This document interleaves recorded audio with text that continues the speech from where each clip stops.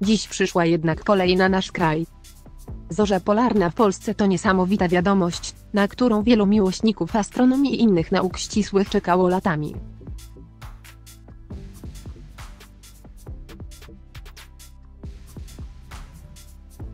Spowodowane wpływem Słońca na pole magnetyczne Ziemi kosmiczne widowiska bardzo rzadko schodzą tak blisko równika, by można było obserwować je na naszej szerokości geograficznej.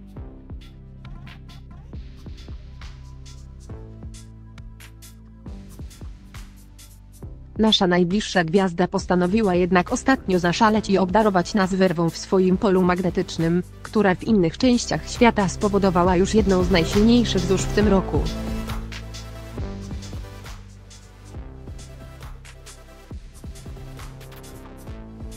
W kierunku Ziemi ponownie skierowała się pokaźnych rozmiarów dziura koronalna na Słońcu.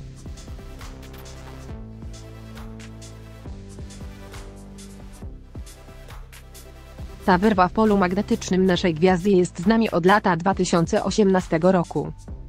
Blisko 4 tygodnie temu wywołała ona jedną z dwóch najsilniejszych zórz polarnych w sezonie 2018 i 2019, pisze na Facebooku popularyzator astronomii Karol Wójcicki, prowadzący fanpaga z głową w gwiazdach.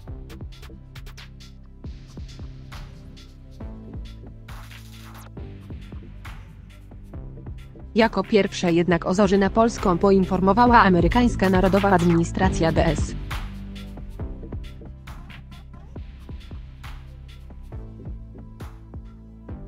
Oceanu i atmosfery. Nocne światła na niebie widoczne będą w godzinach od 22 do 1 przez maksymalnie kilkadziesiąt minut i w miejscach pozbawionych dużej ilości sztucznego światła.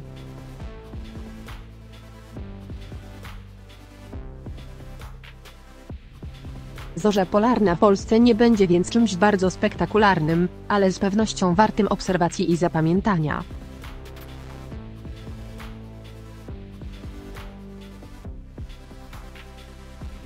Druga taka okazja może nie zdarzyć się przez wiele następnych lat. Zjawisko spowodowane jest uderzeniem wiatru słonecznego w naszą atmosferę.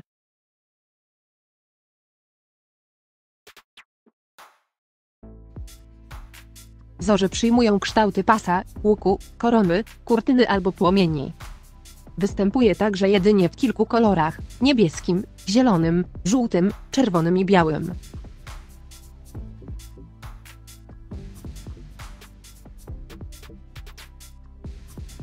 Najłatwiej i najczęściej zauważalne są w krajach skandynawskich, które w części swoich terytoriów leżą za kołem podbieganowym.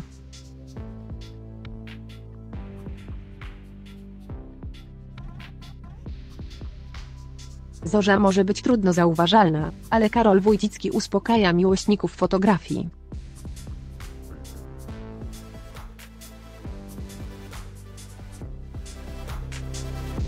Możemy spodziewać się, że jeśli zorza się w ogóle pojawi, to w formie delikatnej poświaty nisko nad północnym horyzontem.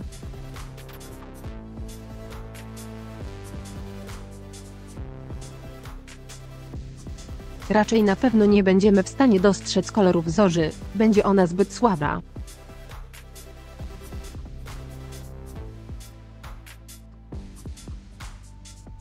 Bez większego trudu uchwycimy je jednak na zdjęciach z dłuższym czasem ekspozycji, czytamy.